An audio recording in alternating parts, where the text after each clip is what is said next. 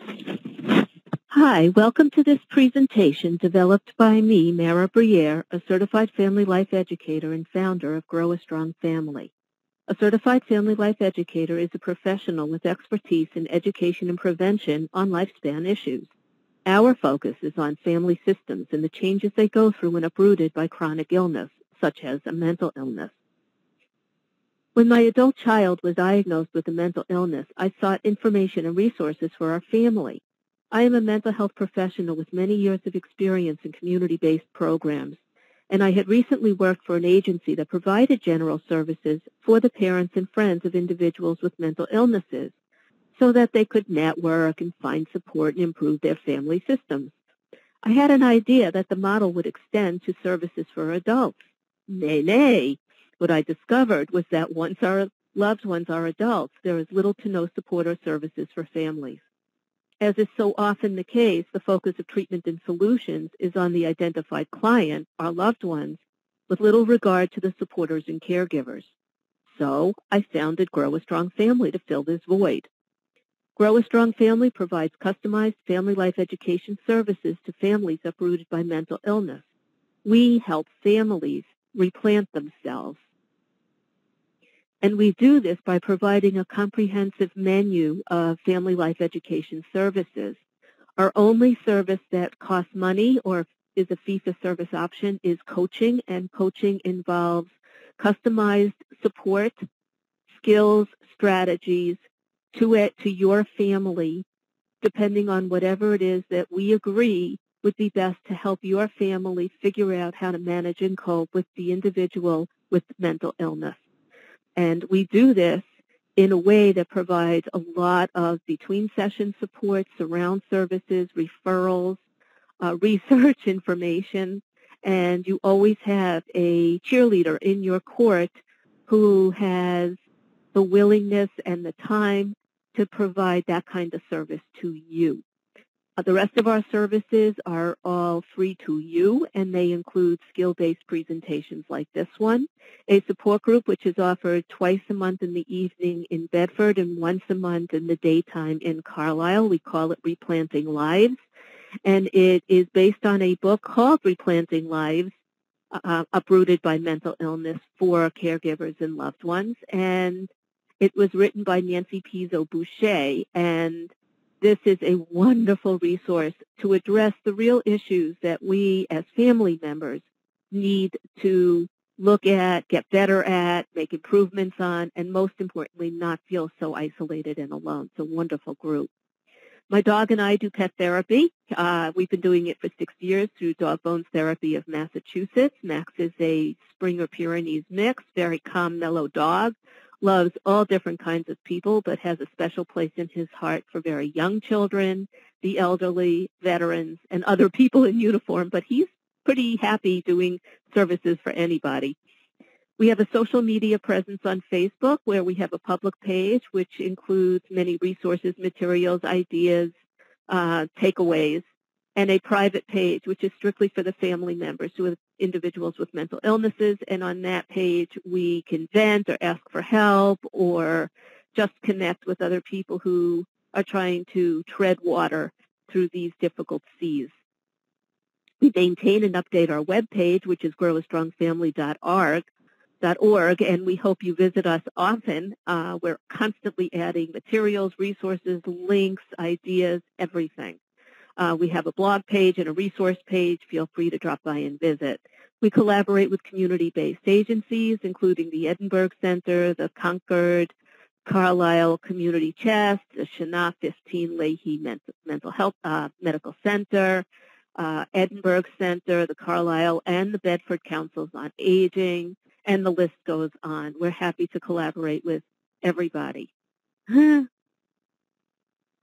The contents of this presentation were developed with support and funding from two generous community agencies. One of them is CHNA 15 and the other is the Concord Carlisle Community Chest. So thank you so much for supporting us in this effort. So today's presentation is called Learning to Move Forward and we're going to be talking about ambiguous grief and what that looks like. If you want to follow along and take notes, feel free to print out or at least download the link underneath this presentation called Learning to Move Forward handout because it includes the slides and next to the slides are notes pages. So feel free to do that. In this webinar or in this presentation, we're going to be talking about grief and we're going to be talking about strategies. And you're probably familiar with the with the five stages of grief, but in fact we have found over time that there's actually probably more like seven stages of grief. And the first one is usually shock. When our loved ones get a diagnosis of serious mental illness, it could be bipolar, schizophrenia, borderline personality disorder, um, and, and, it could be a neurobiological uh, illness that is, could be Alzheimer's. Whenever that we, there's usually a sense of shock. Even if we suspect that something is going on, to have it said out loud is very startling to us. So we may become paralyzed and fogged and a little overwhelmed just by hearing the news. Then we might go into denial where we say, ah, no, can't be. Are you sure? Maybe we want to get a 15th opinion. Then we might get really angry because it's frustrating. And we've been bottling up all of our emotions over time, and so haven't they. And so we might get angry with one another. Um, we might start bargaining. Well, if if only you can bring back the the the son I knew, or the daughter I knew, or the parent I knew, or the partner I had, um, I'll do this, that, or the next thing. Uh, depression, uh, which is when we focus on looking back and remembering all the things that we shared together that we may never share together again, at least not in that way. We may go through a testing time where we are looking for what kind of solutions make the most sense. And this is a pretty healthy response, actually, to devastating news, is to eventually get to a place of saying, okay, this is what it is. What, what can I do? How can I manage this more effectively?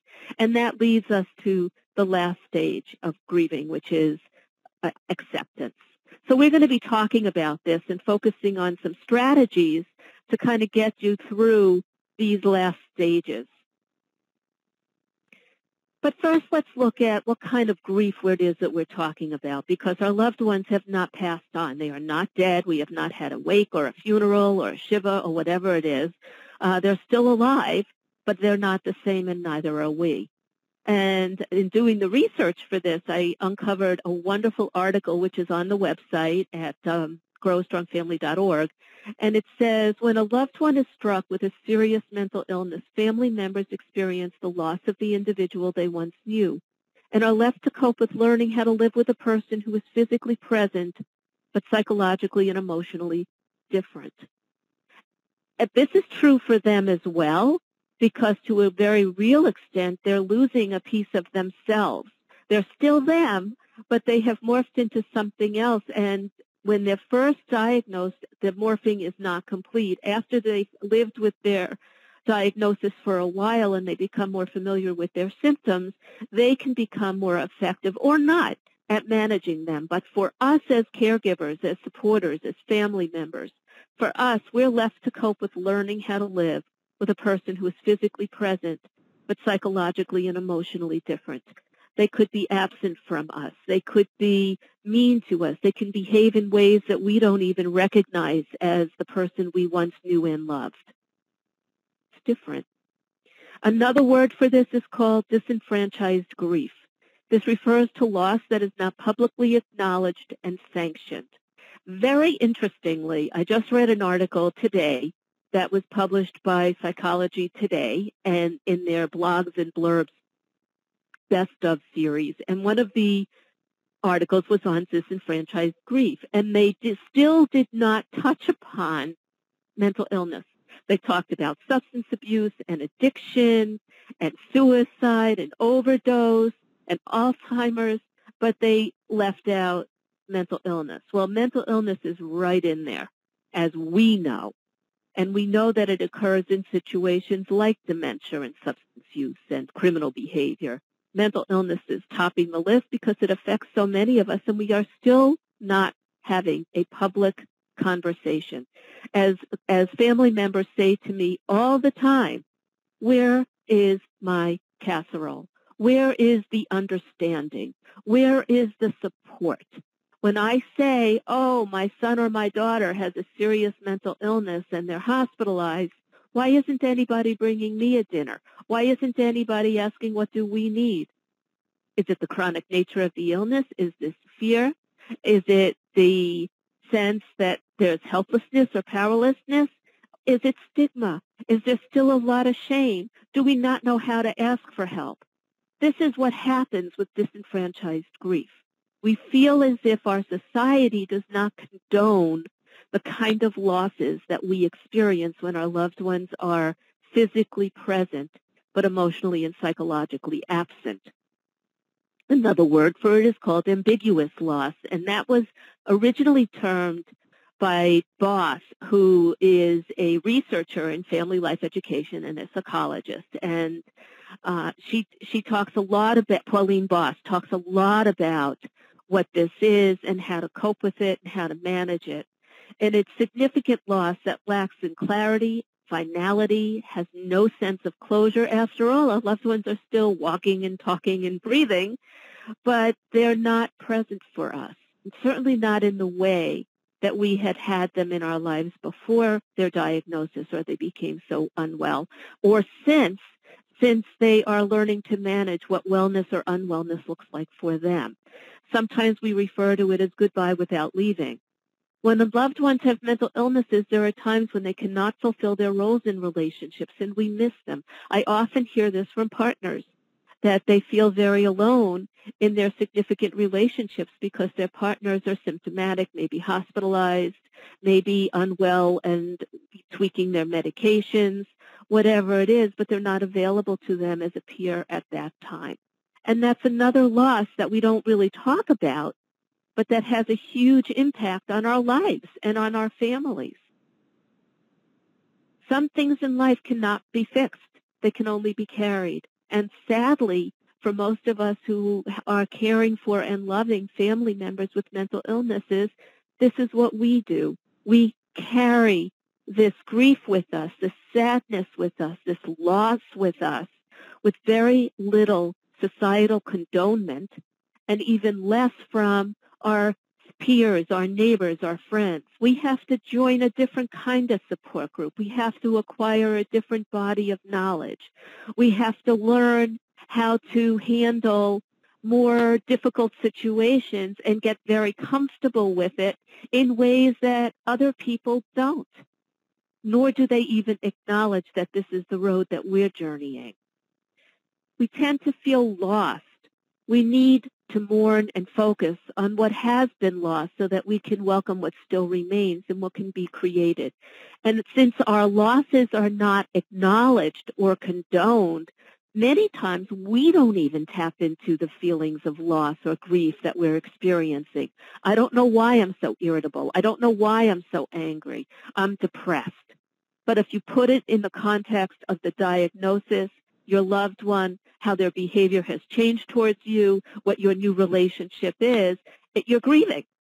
And if you realize that you're grieving, you're able to identify the loss. You can then say, I, I can identify this loss. I can accept that times have changed and my loved ones has changed and our relationship has changed and put your energy into more productive or constructive places with regards to this new status that you have in your life.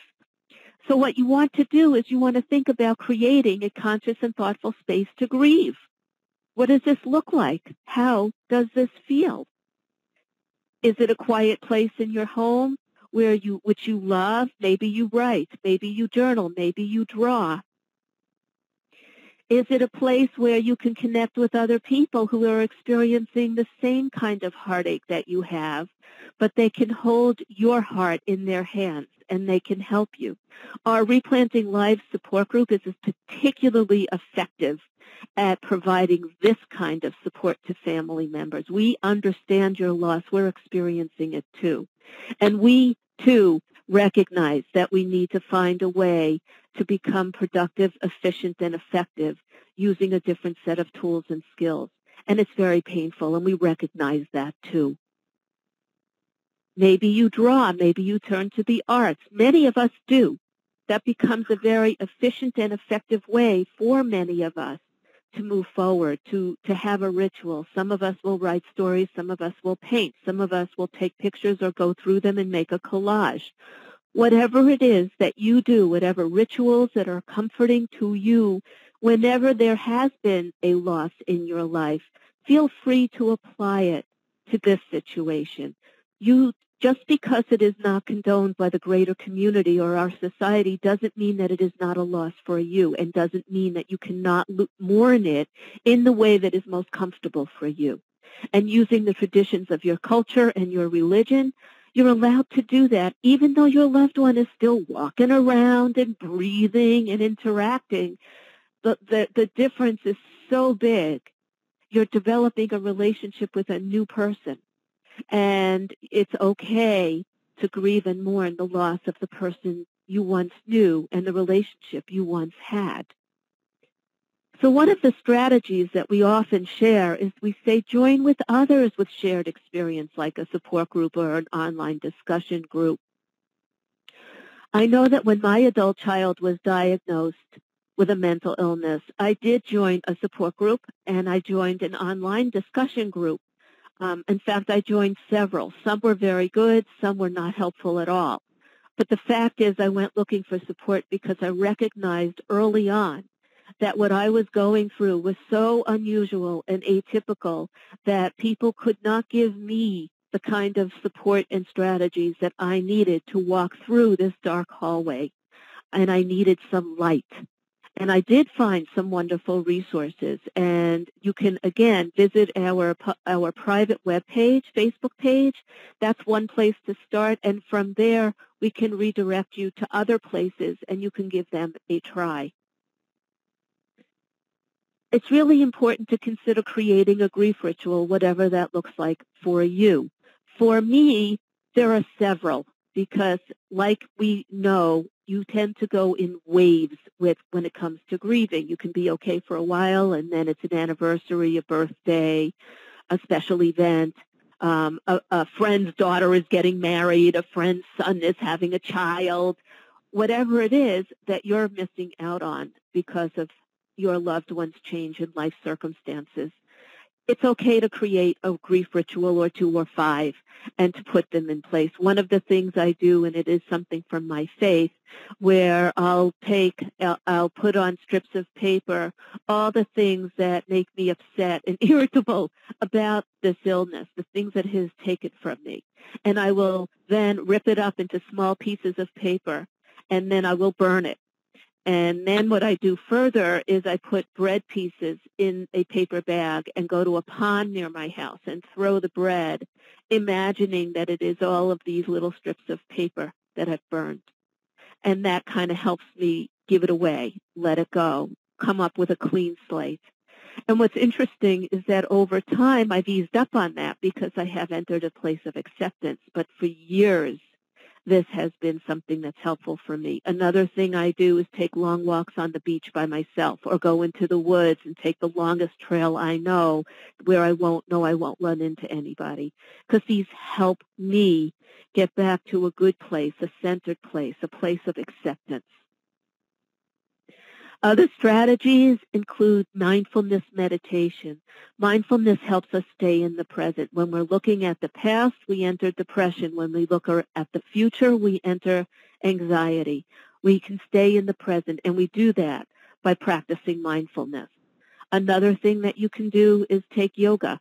There's even chair yoga. So even if your body isn't up to full-fledged yoga, there are lots of ways to modify it. And it really is helpful because it, again, brings you to the here and now, to the present, and it discharges the energy that is locked in your body through this grief, through this change, through this loss.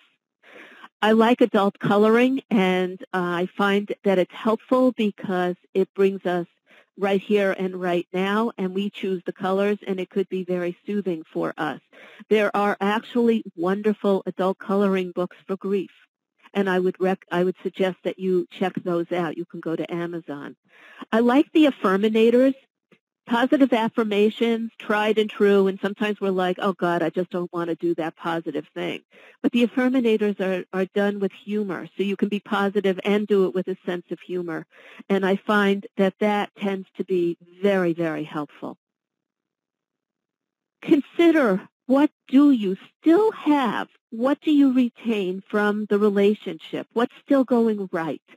Are they still in your life? Do they still let you make some of the decisions? Are they still open to your guidance? Uh, who do you still have? Are there times when they're stable, when they are themselves, when they can be on top of their games? Have they reached a place of remission and they're in a good place for a long time? I've known people who've been in remission for 10, 15 years, even longer. Who do you want to be? This is about you. Do you want to be the person who's bitter and hunched over because a loved one, maybe a child, isn't isn't moving forward in life the way you want? Or do you want to be the person who says, this is just something that happens, we can and will and did get through it, and we have lots of solutions? Make a list. It helps to make a list because then it's something that's concrete. It's something that you can look at and you can say, this is real. This is concrete. This is something I can make happen. This is something that I can do. If you're lucky and you're organized, you can even prioritize your list. What can you create for yourself that enables you to become unstuck and move forward with you? What do you need to have? When you put all of your focus on your loved one who's not well, you leave you out. Remember, the oxygen mask always has to go on you first then your loved one, same is true here. It needs to go on you first. You need to create balance in your relationship. What is reasonable for you to do? What is it that they can do for themselves? What is it that you can delegate or let go of? What are you going to be satisfied with? What makes you feel better overall? What is good for the family? any solution that only takes care of one member of the family is not a viable solution. Any solution that takes care of every member of the family is effective and viable. So what are you doing to become unstuck and move forward for you? And that's what we're here to look at. How do you move forward? We look at, first of all, who are you beyond a person who is grieving? What does your work look like if you're still working? What does your family look like? What kind of supports do you get from them? What kind of relationships do you have? How do you celebrate family rituals and holidays and celebrations? Do you? Do you want to? What kind of friends do you have? How available to you are they? How available are you to them? What kind of a friend are you to them? What kind of activities do you like? What have you given up and what would you like to have back in your life? Look at what your activity interests are, your hobbies, your talents, and your exercise. Have you neglected those? Because those are an important part of who you are. They make you you and you need to reintegrate them into your life if you have not done so. What happens so many times to those of us who have loved ones with mental illnesses is that we become so caught up in the diagnosis and the treatment and all of the things that they need that we do neglect ourselves and to a certain extent the people around us and we become less than whole people. And in the long run, that's not helpful to our loved ones either. So we really need to reclaim ourselves so we can have a more balanced and appropriate relationship, not only with ourselves, but with them and everybody else. Guidelines for moving forward. You have the opportunity to create a different story of your life moving forward. New relationships with your loved ones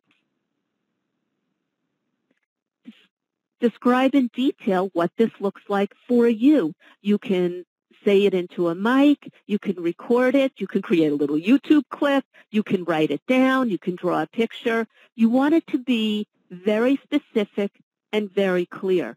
Once we do something that's very specific and very clear, we are then more able to implement it because we've already seen it. And if we can see it, we can make it happen.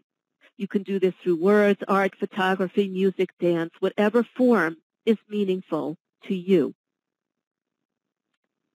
When you're looking at moving forward, it's really important to ask yourself, how do you feel? Who is around you? What does your living space look like and feel like? Is it meeting your needs? Maybe something needs to be changed. What activities are you involved in? How are special events or holidays acknowledged? Do you want to continue doing it the way you've been doing it, or do you want to do it differently? Where is your joy? Helpful st- self-statements include words like the following. I know I can do this. Once you have visualized it, once it is clear in your mind's eye, yes, you can. You can do this.